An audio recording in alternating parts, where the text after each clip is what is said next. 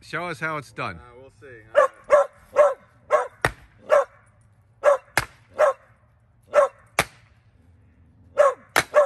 Nice.